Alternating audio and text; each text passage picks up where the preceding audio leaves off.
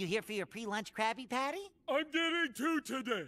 One for me and one for my friend. Oh, have I met this friend? You know me, SpongeBob. Enjoy, Patrick's tummy.